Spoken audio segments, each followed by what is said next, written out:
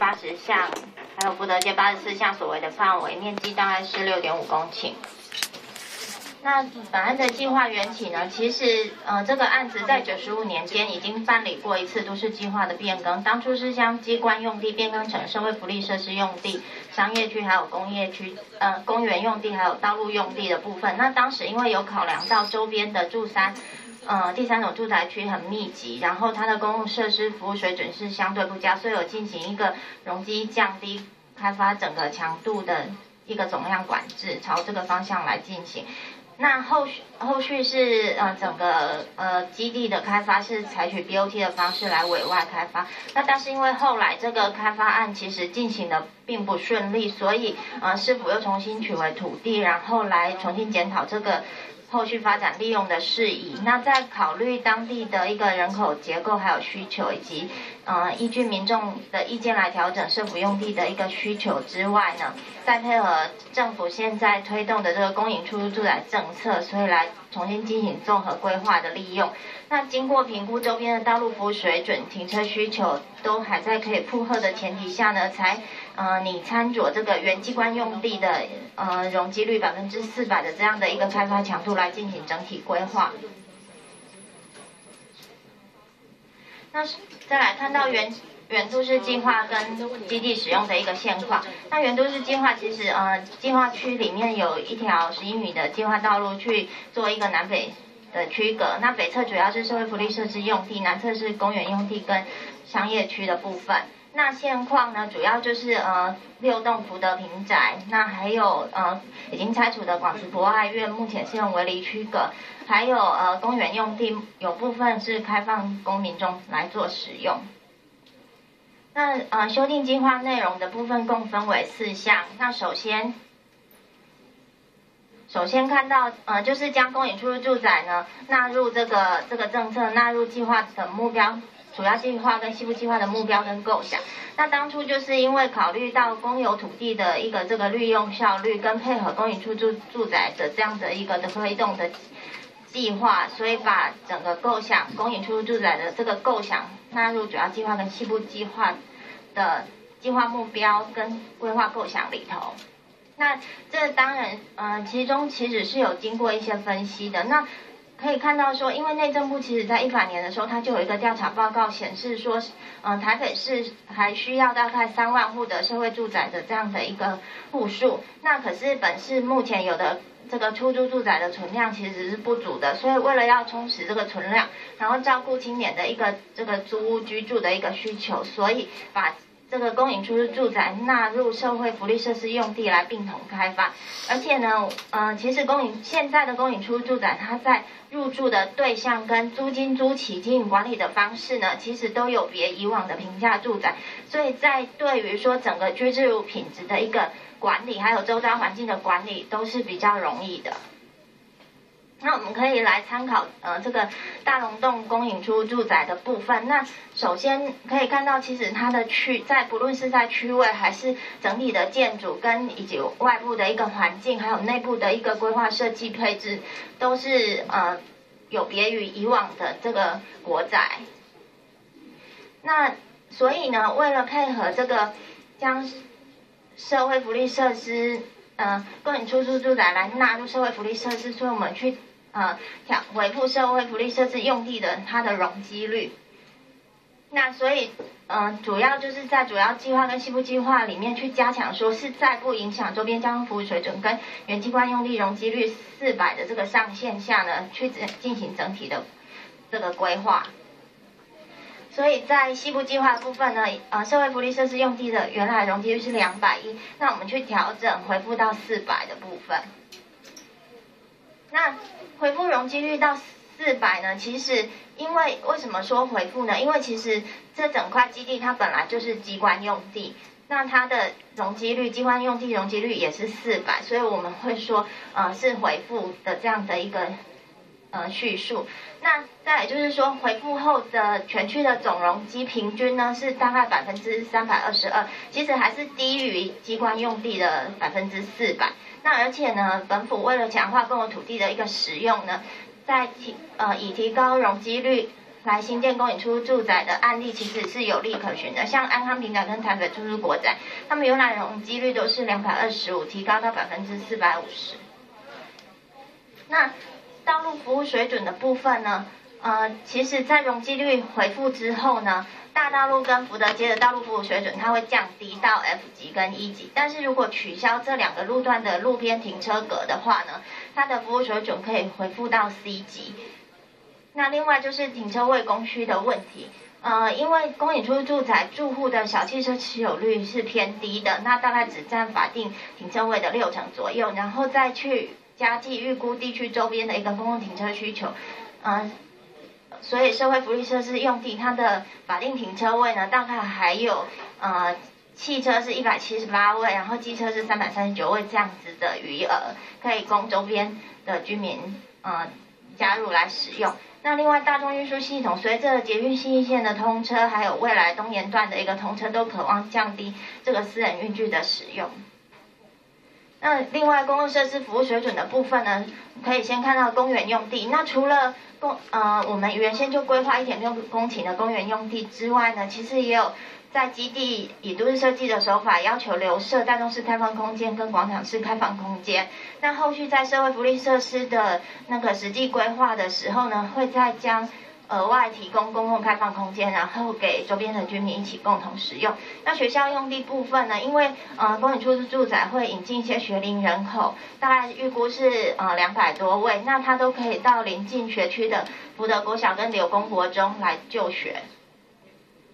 那当然呃，这个。计划范围里面其实是有受保护树木十四株跟非受保护树木六百五十五株的部分。那后续在呃将依树保相关的规定办理，然后纳入建筑规划设计配置，来降低对树木生长的这样一个影响。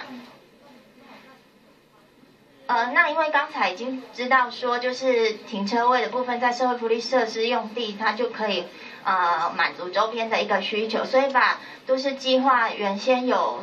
指定说要在公园用地下面做多目标使用做停车场，然后提供五百个小汽车，还有五百个机车为公周边居民使用。这个部分调整成说就是可以是周边的一个停车供需的需求，然后纳到商业区社会福利设施里面去检讨。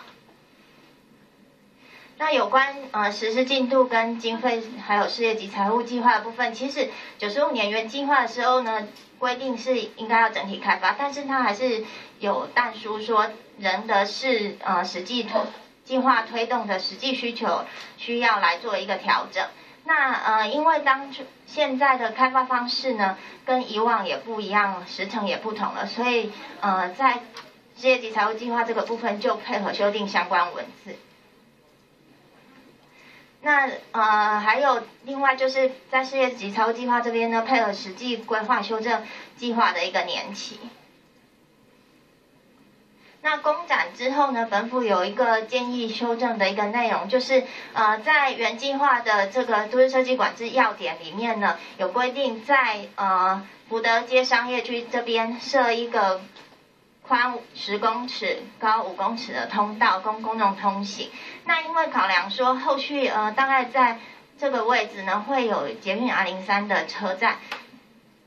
出入口，那希望这个车站出入口的这个人潮呢可以直接通往呃社会福利设施的北侧的这个部分来直接很快的可以使用利用到这这部分的设施，所以呃把。所以把这个计划的内容呢调整成说，在离呃住在商业区的部分离福德街侧呢，以留设南北向通道为原则，来保持一个计划的弹性。那有关都委会的幕僚意见呢，首先是有关容积率呃调整到四百的部分呢，请本府就这个呃公共设施及环境容受力提出评估。那刚才呃在我在分析的内容里面，已经就这个容积率提高，嗯，回复跟这个公共设施，还有道路服务水准，还有道路服务水准，还有停车位供需、公园用地、学校用地，已经做过检讨了。那请委员呃参考书面资料。那另外就是呢，呃，在社会福利设施用地划设个公营出租住宅的这个适宜性，还有会不会去排挤到原有社会福利设施这个部分呢？那因为其实呃，在原广慈的这个案子里面，它的规划内容就已经包含了大概有两百户的这个住宅去供中低收入户来居住。那另外就是考量到说，呃，因为本市的公营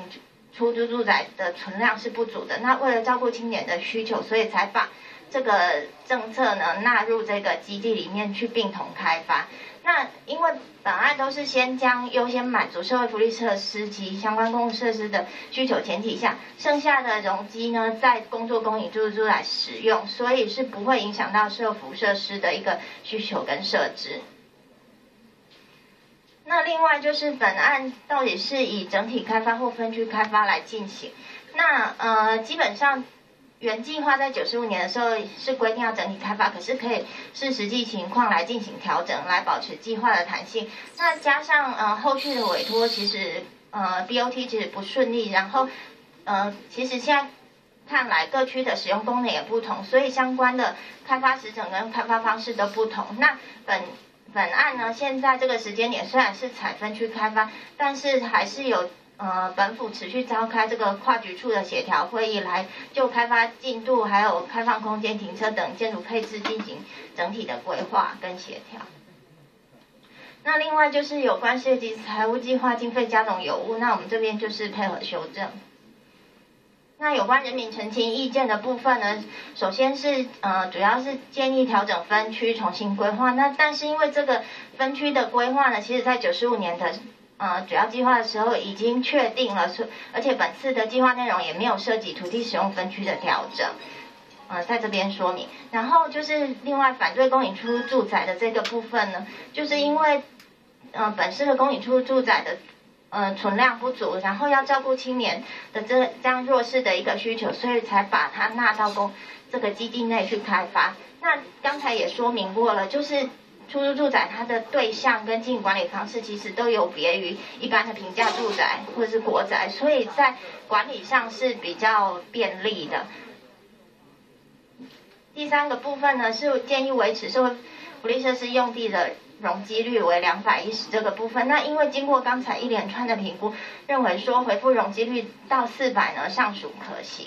那另外就是本案有这个基地内有老树的这个部分呢，呃，就是以后未来是会循树保的相关规定去办理，然后纳入建筑规划设计配置来降低这个影响。还有本地区有断层这个部分呢，呃，其实这个。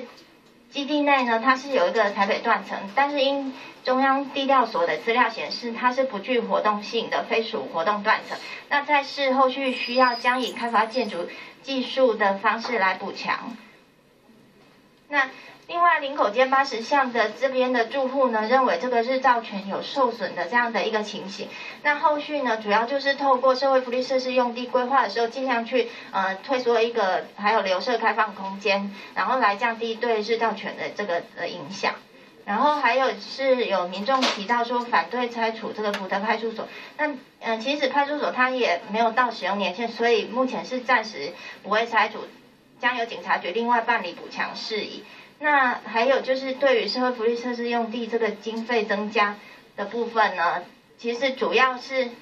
它主要是因为提高呃回复容积率来作为公营出租住宅所衍生的一个相关费用。那另外就是有关规避环评的部分，其实本案它在之前委外开发的时候呢，因为当初社会福利设施用地、商业区，嗯，还有公园用地，它都是视为一个开发案，所以它的。还有它的开发的内容，主要是呃有一些疗养设施，然后因为这样的一个项内容，然后它的基地整体面积加起来大五公顷，所以要办理环境影响评估。但是因为刚才有提到说这个委办案其实并不顺利，那现在看来各区的使用功能也不同了，个别开发其实是否呃目的由市府的目的事业主管机关来个别开发，反而是有助于这个工程的进行。跟进，嗯，提高这个进度，所以呢，才会有这样子的一个新的开发方式，而不是为了要规避环境影响评估审。